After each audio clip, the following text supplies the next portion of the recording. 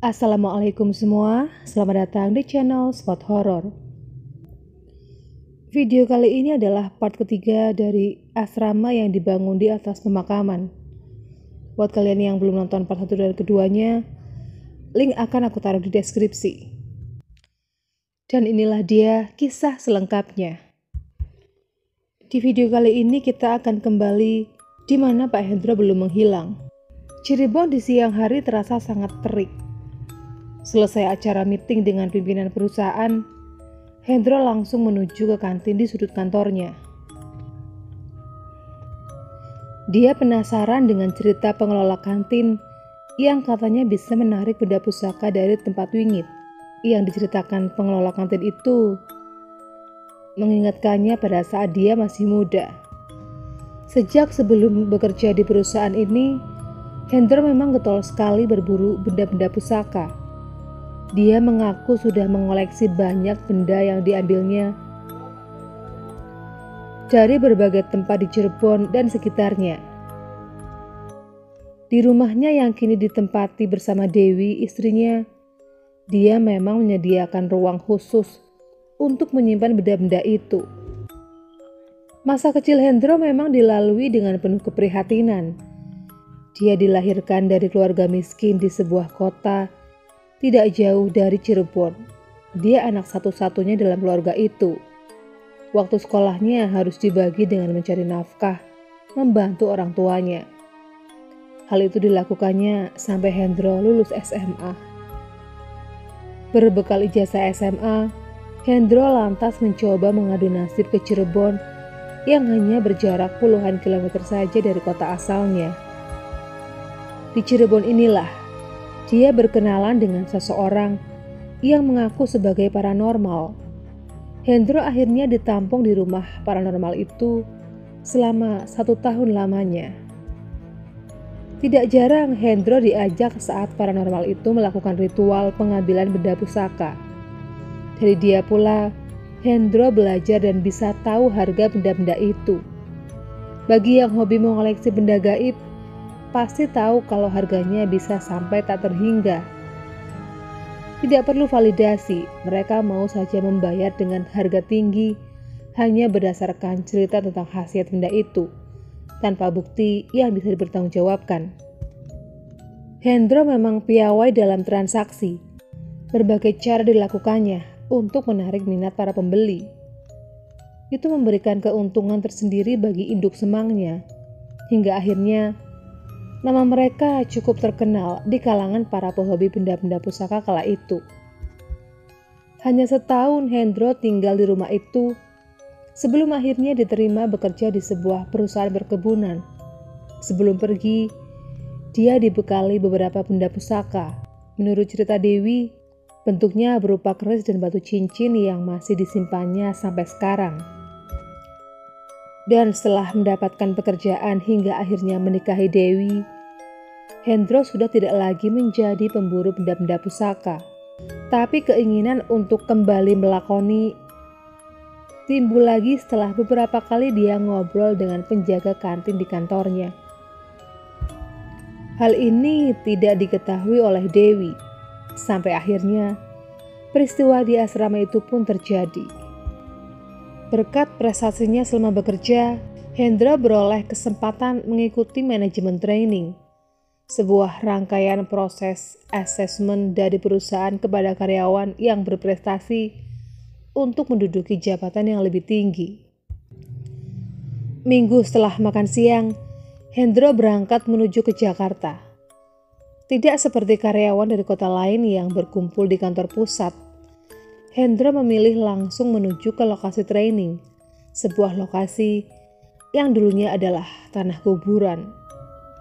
Hanya butuh waktu beberapa jam saja Hendro akhirnya sampai di tujuan. Keadaan masih belum terlalu ramai. Baru sedikit yang datang karena waktu check-in terakhir adalah pukul 5 sore. Selamat sore. Dengan Bapak siapa ya? Sapa karyawan di bagian lobi. Hendro Waskito, Mbak. Setelah berbasa-basi dengan karyawan asrama, Hendro segera menuju kamarnya. Gedung A lantai 6, kamar nomor 69. Letaknya persis di pojok. Kamar itu terasa dingin, tapi bukan karena AC, melainkan ada sesuatu yang lain yang dia rasakan. Celakanya, dia hanya sendirian karena peserta lain yang sedianya satu kamar dengan Hendro batal ikut. Dari balkon lantai 6 itu Hendro melayangkan pandangan. Dahinya berkerut saat melihat ke arah selatan. Dia melihat pohon beringin yang berdiri gagah dengan latar belakang tanah kuburan. Ingatannya kembali pada benda-benda di rumahnya. Dulu, dia juga sering melakukan ritual penarikan benda pusaka di tempat-tempat seperti itu. Waktu check-in masih lama dan teman-temannya masih banyak yang belum datang. Hendro lantas turun dari lantai 6. Niatnya ingin membeli rokok di warung dekat asrama. Hati-hati pak, asrama itu dulunya bekas tanah kuburan, kata si pemilik warung. Hendro hanya tersenyum mendengarnya. Dia justru semakin penasaran hingga timbullah niat untuk menarik benda pusaka yang ada di asrama itu tanpa berpikir resiko yang bisa ditimbulkannya.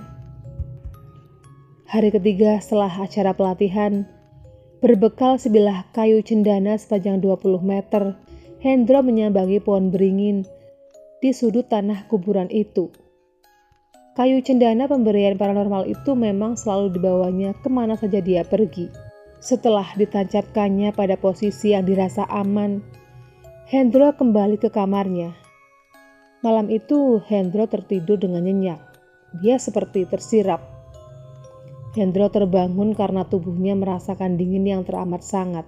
Saat sadar, dia terkejut karena mendapati dirinya tertidur di pelataran parkir gedung A dalam keadaan setengah telanjang.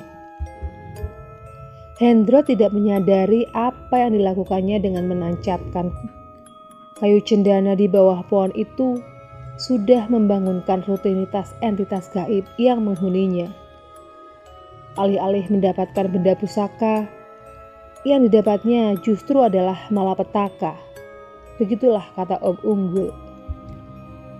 Dan tepat pada malam Jumat, proses penarikan benda pusaka dari tanah kuburan akan dilakukan.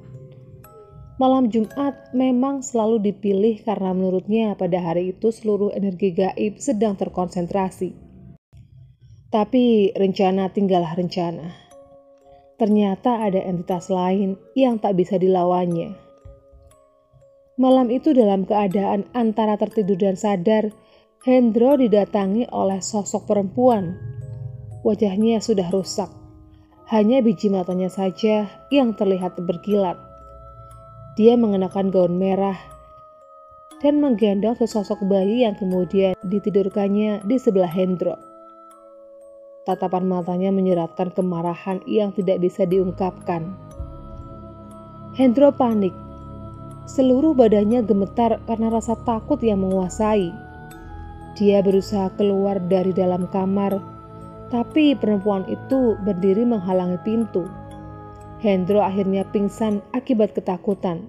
Setelah itu, dia tidak lagi ingat apa-apa. Adzan penanda datangnya waktu maghrib baru selesai berkumandang ketika Mbak Asti sampai ke asrama sepulangnya dari rumah Pak Jauhari. Bahasti lalu menuju pos satpam. Dia sempat menanyakan perkembangan kasus hilangnya Pak Hendro yang sudah memasuki hari kedua. Masih belum ketemu, kata Pak Rusdi. Mbak Asti berjalan menuju asrama belakang. Untuk sampai ke sana, Mbak Asti harus melewati sejumlah gedung di sisi kiri kanan jalan selebar 6 meter. Karena tidak ada acara pelatihan, suasana menjadi sangat sepi. Dan suasana pergantian hari dari sore ke malam selalu memberi warna tersendiri. Tiba-tiba saja Mbak Asti merasakan bulu kuduknya meremang saat melewati gedung C. Alam bawah sadarnya mengatakan bahwa dia sedang diawasi. Sambil berjalan, bola matanya melirik ke arah gedung itu dan benar saja, Di teras gedung itu, dia melihat seorang wanita sedang memandang ke arahnya. Sosok yang sama juga dilihat oleh Pak Rusdi malam sebelumnya.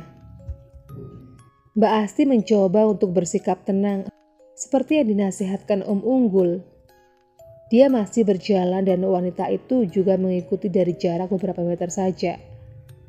Saat sampai di ujung jalan, langkah Mbak Asti terhenti Kakinya seperti tidak bisa digerakkan. Wanita itu masih mengawasi dari jauh, tapi kali ini di sebelahnya berdiri seorang laki-laki tua.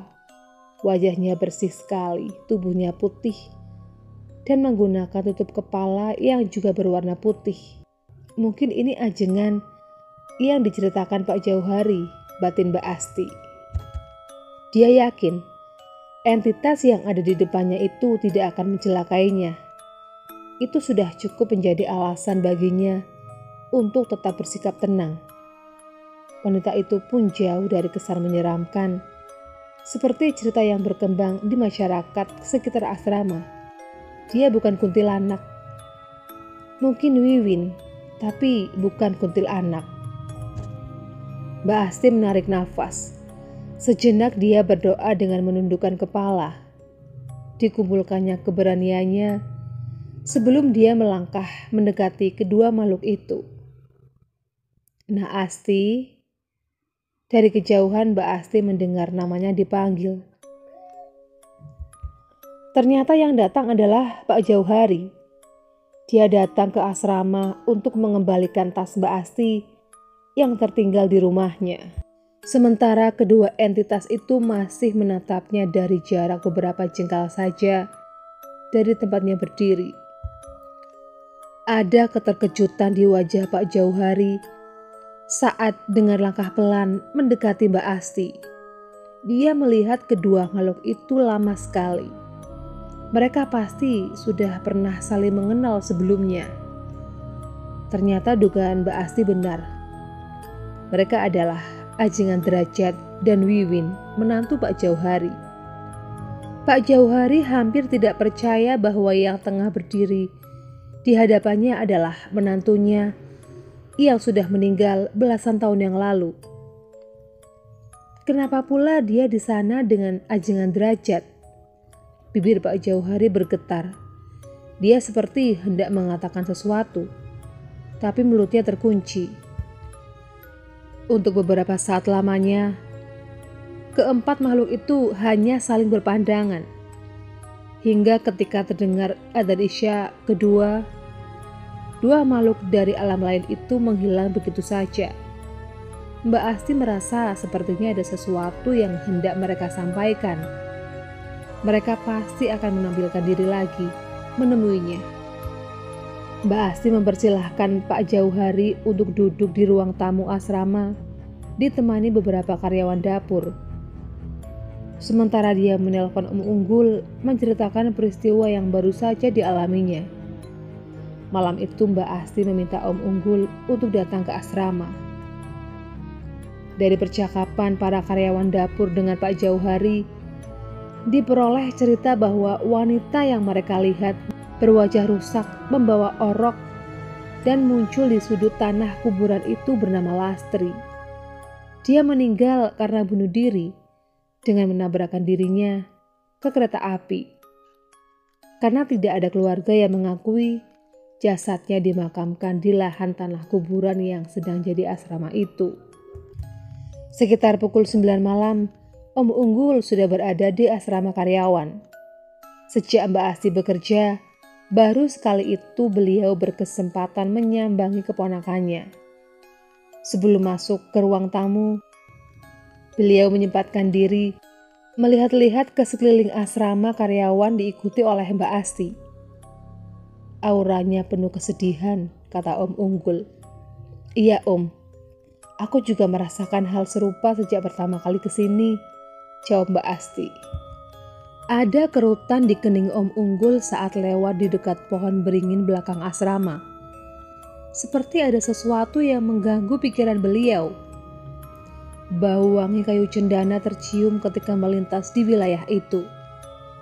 Mbak Asti dan Om Unggul kemudian melanjutkan langkahnya kembali ke tempat Pak Jauh Hari menunggu. Beberapa jenak lamanya, mereka berbincang di ruang itu. Menjelang tengah malam, suasana semakin sepi. Ketika lamat-lamat suara perempuan dan bayi menangis itu terdengar lagi. Kali ini Om Unggul dan yang lainnya beringsut ke teras asrama. Mereka menunggu sesuatu yang mungkin akan terjadi.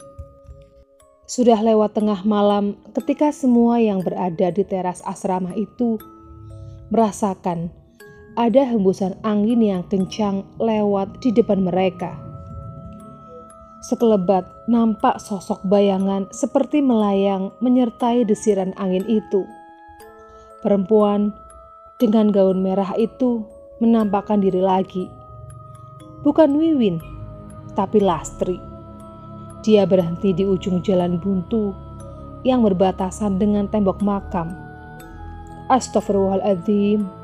Spontan mereka beristighfar sesaat setelah sosok Lastri melintas di depan mereka. Om Unggul, Mbak Asti, dan Pak Jauhari melangkah mendekati sosok Lastri yang berdiri hanya beberapa langkah saja dari ujung asrama. Beberapa karyawan lain mengikuti di belakang mereka, sementara yang lainnya memilih berjaga di teras asrama. Om Unggul memejamkan mata sejenak, kepalanya tertunduk sambil melafazkan doa. Perempuan itu tampak menangis. Tangannya menunjukkan ke arah pohon beringin. Menurut Pak Jauhari, jasad Lastri memang terkubur di dekat pohon itu bersebelahan dengan kuburan anak dan menantu Pak Jauhari. Bergegas, mereka menuju ke arah tanah kuburan, khususnya ke pohon beringin yang hanya berjarak 20 meteran saja dari tempat mereka berdiri. Aroma cendana masih tercium dari sekitar pohon beringin itu. Aneh, batin Om Unggul. Dia lalu mengitari pohon itu dan terkejut ketika melihat ada sebilah tongkat berukuran 20 cm tertancap di sana. Om Unggul nampak geram sekali melihatnya. Dia seperti sangat mengenali tongkat yang terbuat dari kayu cendana itu. Dicabutnya tongkat yang menancap di tanah itu sambil merapal doa. Dan tiba-tiba, bruk Astagfirullah, la ilaha illallah, Pak Hendro. Semua yang ada di sekitar pohon itu terperanjat dan berteriak spontan ketika ada sesosok manusia terjatuh dari atas pohon sesaat setelah tongkat itu dicabut. Nampaknya dia dalam keadaan pingsan dan hanya mengenakan singlet dan celana pendek. Seperti tidak pernah terjadi apa-apa, Om Unggul terus merapal doa. Sementara Mbak Asti memerintahkan karyawan lain untuk membawa Pak Hendro ke asrama. Om Unggul dan Pak Jauhari terus berjalan sampai tiba di belakang gedung C. Langkah mereka terhenti di salah satu sudut gedung. Pak Jauhari merasa ada suara perempuan yang memanggil namanya. Ini suara Wiwin. Saya masih ingat, kata beliau. Dan benar saja, karena tidak lama setelahnya muncullah sosok Wiwin dari balik gedung itu. Om Unggul nampak menundukkan kepalanya sambil tangannya ngapur rancang seperti menyambut kedatangan tamu terhormat.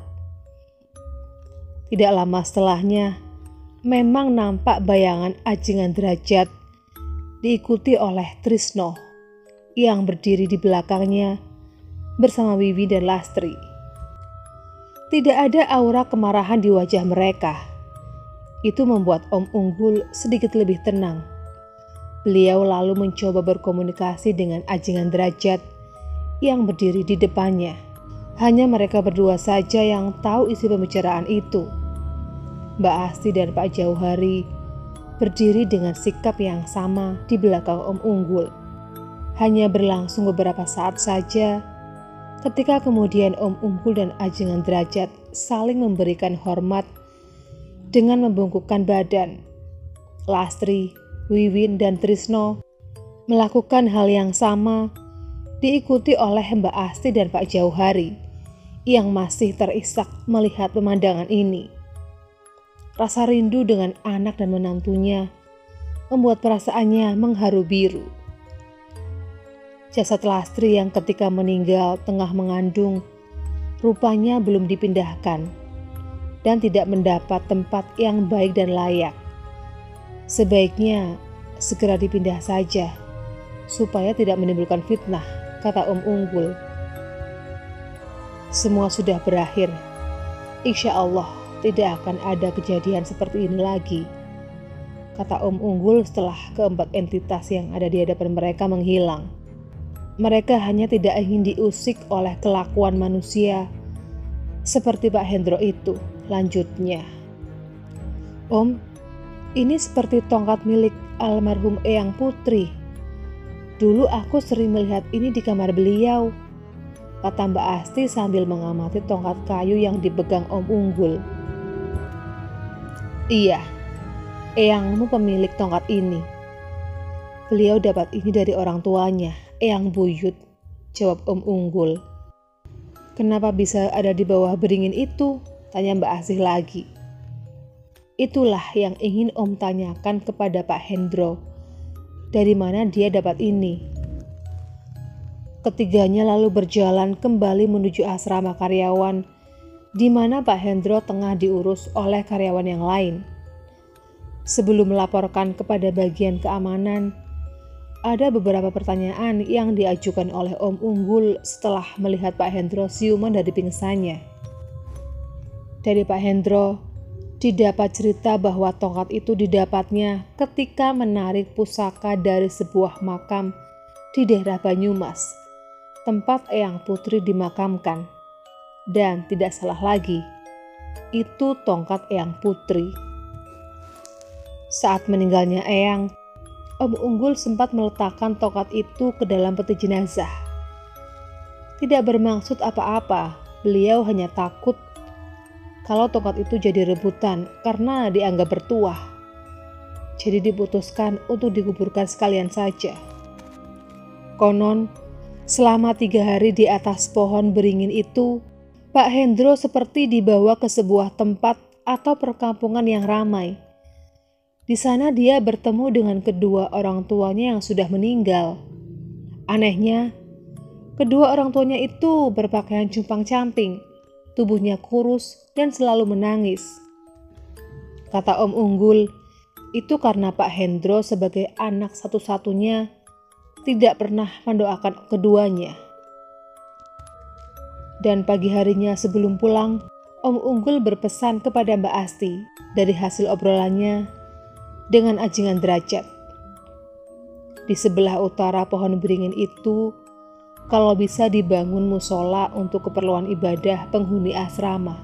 Asrama besar seperti ini, masa tidak ada tempat ibadah? Begitu kata Om Unggul. Nanti aku sampaikan ke pimpinan Om, kata Mbak Asti.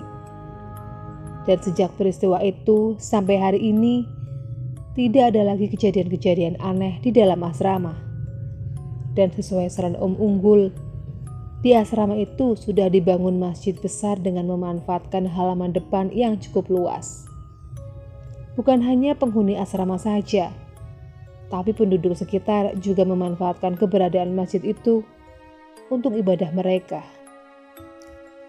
Demikianlah berbagai peristiwa yang terjadi di asrama yang dibangun di atas pemakaman banyak sekali hikmah yang bisa kita ambil dari peristiwa ini. Buat kalian yang suka dengan channel ini, jangan lupa untuk menekan tombol like, subscribe, nyalakan loncengnya, tinggalkan komentar, dan share ke sosial media kalian. Sekian dulu video kali ini, ketemu lagi di video berikutnya. Assalamualaikum